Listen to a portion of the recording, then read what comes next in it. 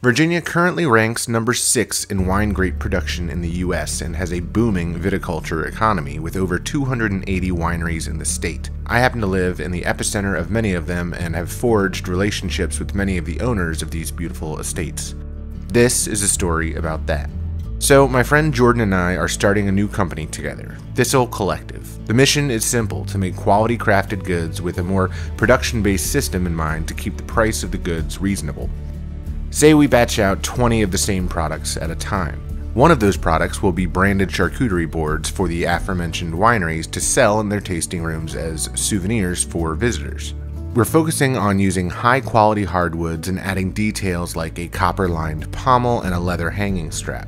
For these, I thought making a reusable template out of MDF would be the way to go. I started out in SketchUp to lay out the design of my board with a few parameters in mind.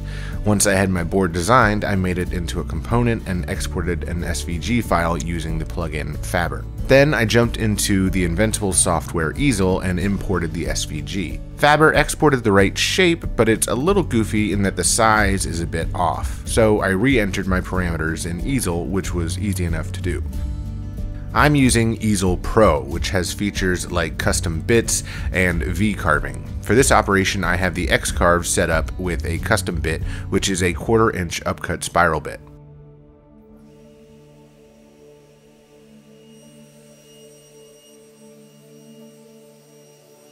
To mount the MDF to the spoil board, I used this double-sided woodworking tape a company Hippie Crafter sent me to try.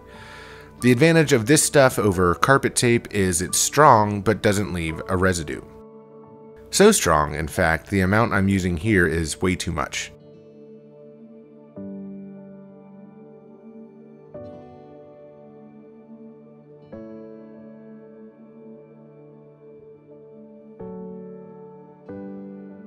With the MDF mounted, I went back to easel to set up the X-carve for the cut, then used the Z-axis probe to give the X-carve a reference to the material and started the cut.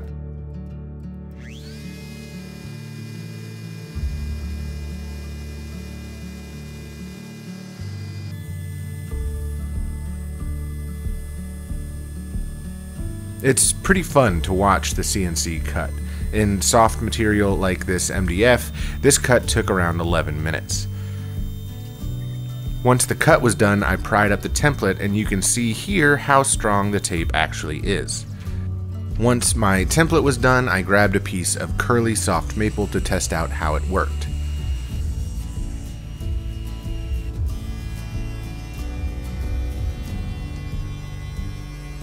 It was relatively flat, so I jointed an edge at the jointer, then ripped it to width at the table saw, then face jointed and planed it to thickness to get my charcuterie board blank.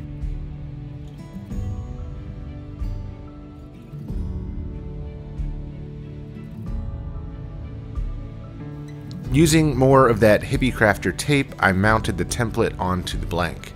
You can see here I mark measurements on the template so I know at a glance the parameters that the blank stock needs to meet.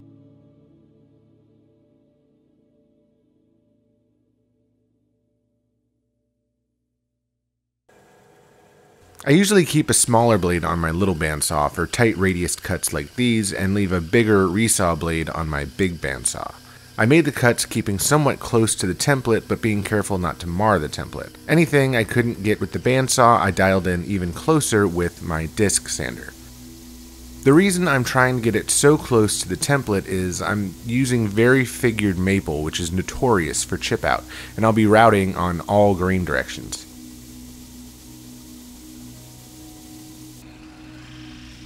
From there, I drill out the hole in the pommel, then head to the router table. The bit I'm using here is an Amana half inch shank by 4 and 3 quarter inch downcut spiral pattern bit. I get most of my bits and blades from toolstoday.com and I'll have affiliate links in the description.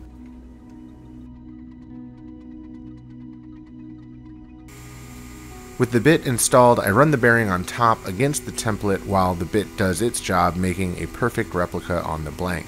You can see all of that figure on the side of the blank and what kind of finish taking a light pass leaves.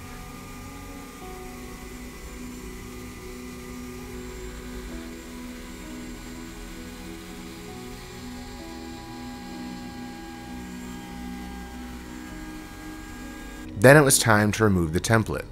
You see here again just how strong that tape is. I'm impressed. With the board flat on the table, I marked some copper pipe with a scratch awl, then cut it on the metal side of my shop. My camera decided to stop recording right as I was about to install the copper, so you'll have to forgive this dramatic recreation.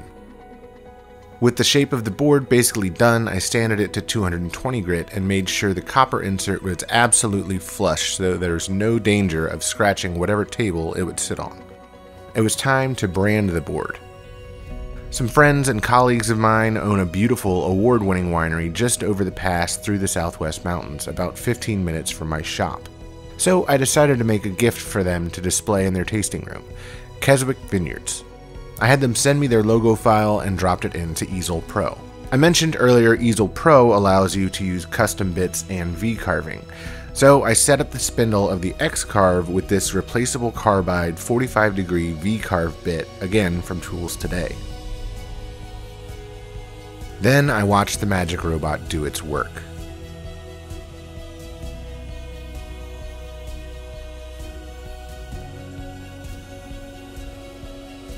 With an Amana 45 degree chamfer bit in the router table, I added a small chamfer around the edges of the board to soften the feel a bit, which also takes care of that little bit of tear out under the logo you might have noticed. Then I applied my homemade board butter, which is a mix of mineral oil and beeswax to keep it all natural and to not have customers question the food safeness of it.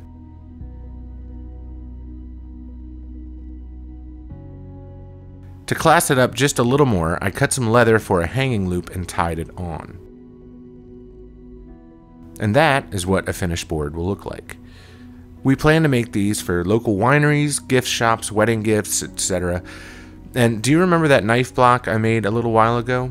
Yep, those are going into production as well. I'm thinking of setting up a pre order on boards and knife blocks, so if you're interested, let me know in the comments and I can forge a plan to move forward. If you enjoyed this video and are not already subscribed, consider hitting that subscribe button and go ahead and ring the bell to be notified when I post new content. And, as always, thanks for watching.